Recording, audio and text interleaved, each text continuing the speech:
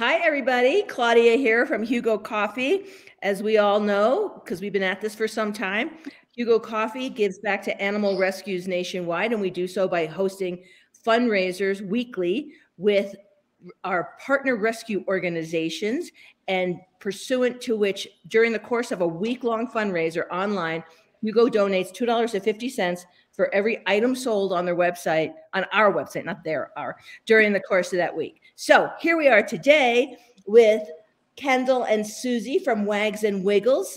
Hi kendall and susie. Hello. Now who is who's going to tell me all about wags and wiggles? I want to know that, where you are how why you are how long you've been and like what your geographic reach is. Yeah that'd be great. I'd love to give you that information. Um, my name is susie. I'm actually the vice president of wags and wiggles dog rescue and i'm mm-hmm. so happy to be here with you today. It's fantastic. Now where is wags and wiggles? We are located in fort wayne indiana. Okay and how long have you been around? We've been around since 2018 um, okay. so we're a fairly new mm-hmm. rescue, um, but we saw a need for the medically needy dogs. They weren't getting the same type of attention as, you know, all the sweet, cute puppies. And so we started up our rescue to help those medically needy dogs. That's wonderful. Now, here's got many questions. Yeah. One, are you a foster based rescue? Yes, we are currently completely 100% foster volunteer based. We do have hopes for a facility in the hopefully near-ish future. Mm-hmm. Um, but yes, currently all of our foster dogs live in our volunteers' personal homes. That's awesome. I'm thinking of doing it next month. Yeah. The last time I fostered, I adopted Hugo. and then, and then I, am a total foster fail. But, but anyway, yay for that. And now tell me, where do you find the animals that you are helping? Oh gosh, so everywhere. Okay. Um, primarily, we focus Midwest based. So obviously, local here, Fort Wayne, Indiana mm-hmm. area, Ohio, Kentucky is a big one we work with. Um, but honestly, if you can get them to us, we'll take them. Okay. Okay. And so do you get do you, do you pull do you pull medical medical medically needy animals from your local shelters Yes. Or, and do you get referrals from other rescues who know that you deal with medical needs, so they might, you know, ask your help in one of their for one of their cases? Yeah, uh, kind of both. Um, so we recently were able to be an approved foster for our local animal care and control. Mm-hmm. Um, and personally, I've taken two dogs that were medically needy from our local shelter. They were amputees. Mm-hmm. Um, one was a local neglect case, so they had to remove the dog from the shelter to protect him from the family they removed him from. Um, so we call it witness protection. and so he came and we were able to adopt him out of state. So that worked out perfectly. But yeah, uh, shelters have kind of gotten word that, hey, if you have a medical case and, you know, shelters don't have the funds or the ability to treat those, they'll reach out to us and see if we're able. That's awesome. Now, tell me about the how you learned about the medically needy animals that, that you have that you a problem that you decided to address in 2018 when you started your when you started Wags and Wiggles. How how did the problem come to you? Um, so I wasn't part of Wags and Wiggles back in 2018, mm-hmm. but it was the our original founder. She was fostering for a different rescue and kept getting like you know the emails that rescues get. Hey, can you help my dog? Um, hey, can you pull these dogs from our shelter? And she saw that need was being overlooked, mm. and so that's how we we started. Mm-hmm. That's great. Now, how many um, how many animals? can you have at any given time in foster with assuming assume your foster network is maxed out how many animals are in foster at any one time with you um, currently we have 35 total dogs in mm-hmm. a network of about 15 to 20 people mm-hmm. um, well homes 15 to 20 homes mm-hmm. but i mean if we have a place to foster them i know at one point i had eight hold on seven, nine fosters in my house. Good God. Um, and they were all medically needy? No, well, the mom, it- I had a mama dog and six puppies, and mom was severely emaciated. Okay. And so we, I made sure to bring her and all her beautiful babies. Mhm. Um, and and then we have had two feral dogs um, that we, you know, we domesticated. God, woman. Yeah. um, so if our fosters will take them, we'll take in as many as we can. That's There's- amazing. But we don't currently have like a set hard limit. Okay. But if we can help, we'll put it. We'll do it. Do you have a sense as to how many dogs find their forever home annually through you guys? Um, about 150 to 200 dogs come through great. our rescue a year and find their forever homes. That's great. I mean, and particularly for such a kind of young rescue. Yeah. That's pretty, that's pretty amazing. And also when you add the to it that there that you have medical needs going Yeah. on at the same Yep. time. So you you need to find not only forever homes, but forever homes that can handle the added the added medical Take on Yeah, take of- on those issues. Fortunately, a lot of our dogs so far have been like short term medical Mhm. needs. So this summer we saw a lot of leg issues. Um, so we had a lot of amputees come through where they still had their broken limbs when they came to us, and we got them taken care of. Um, I had one; she had an unknown eye injury when she was picked up by the local animal care and control, so we got her eye removed. Mhm. Um, and then last winter, I had one. He came to us. We found out he had a spine infection Oh gosh. got him all cleared up and all Great. those all those dogs are in forever homes now That's fantastic. Now you know our our office dog is a tripod. they hold a special place in my heart uh, my um, amputee that just got adopted he is now a brewery dog and his owner works at a local brewery and they take him in there and they named him hops because the tripod and because he work he lives in a well he doesn't live there but he works in a brewery now That's awesome. That's awesome. Yeah. Um, so as you you probably met Beth. Beth is Mhm. is our philanthropy manager, and she uh we did a fundraiser for a local rescue called Fetch Cares. And in so doing, we met Jack, the tripod. And Jack the tripod finally melted Beth's coal black heart after she lost her beloved Scarlet, and which she swore she would never get another dog. But Jack, and by the way, Jack smiles too. oh i love that Smiling tripod. that's it's like unbelievable. yeah They're fantastic. they're the best That's so great. like more room in the heart That's right.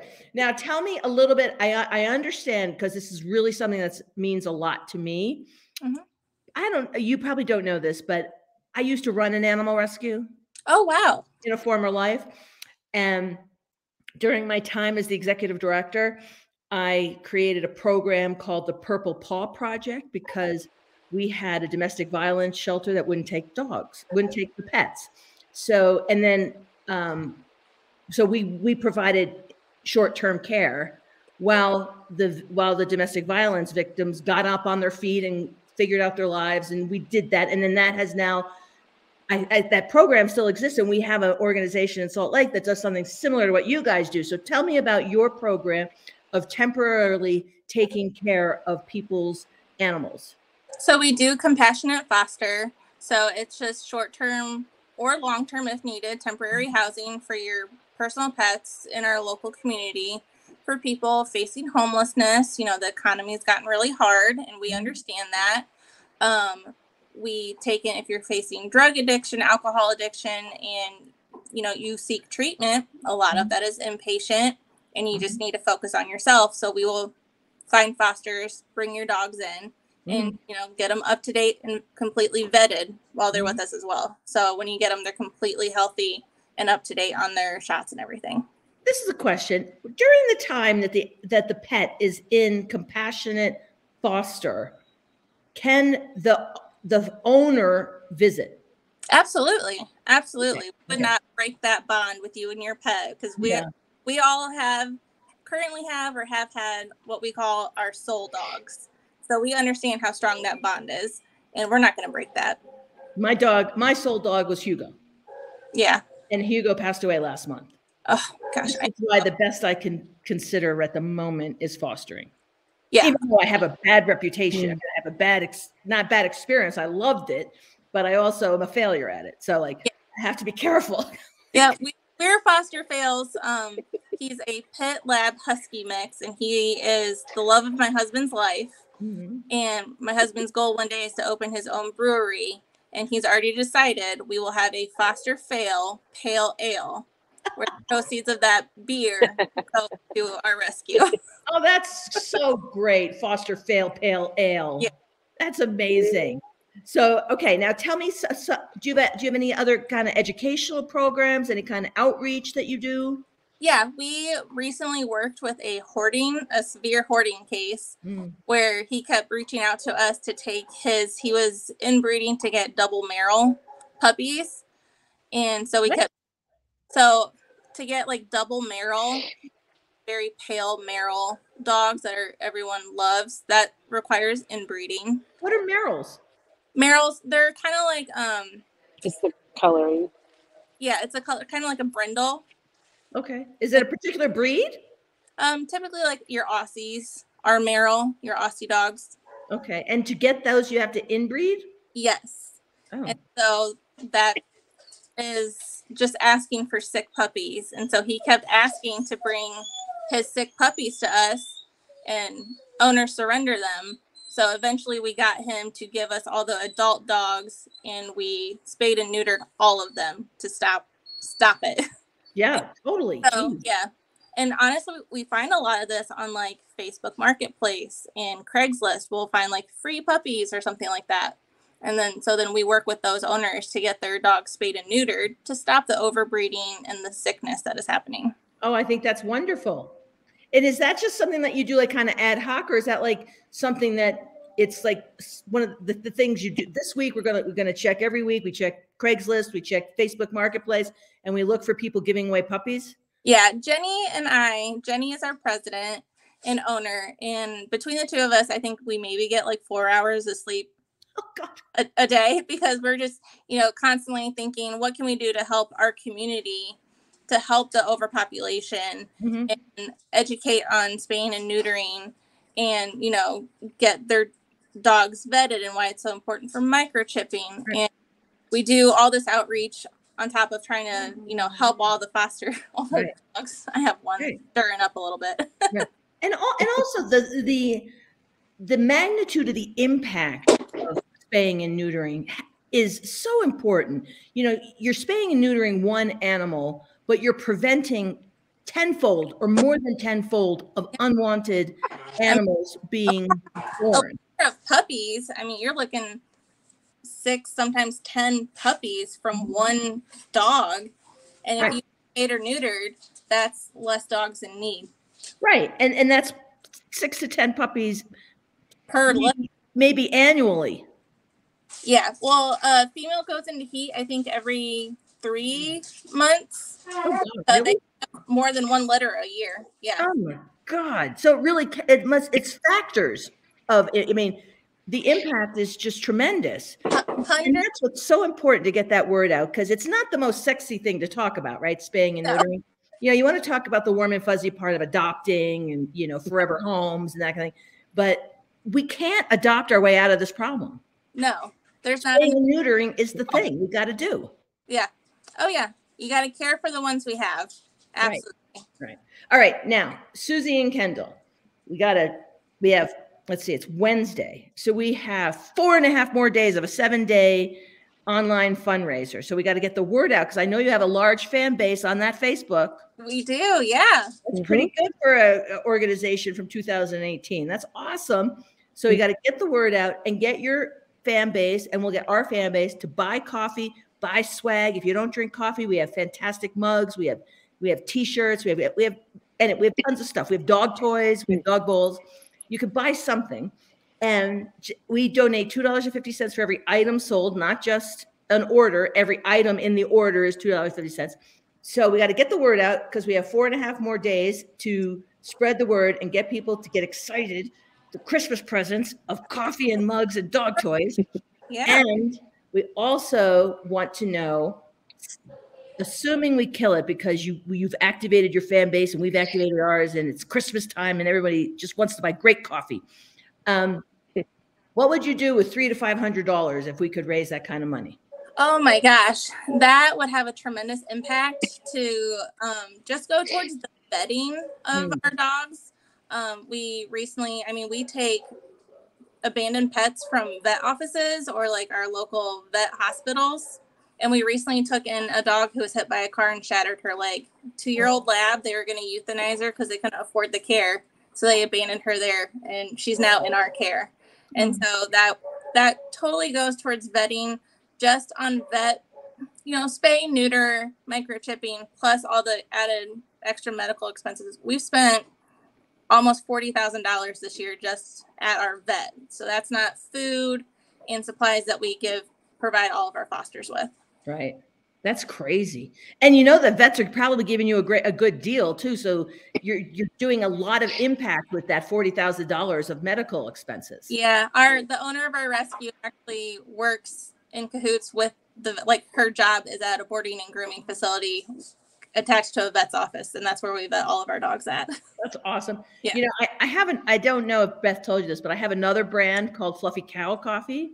Okay, The Fluffy Cow gives to farm animal sanctuaries. Oh, I love that. We supported a we supported a, a a farm animal sanctuary outside Pittsburgh, but the person who runs it is a vet at a shelter.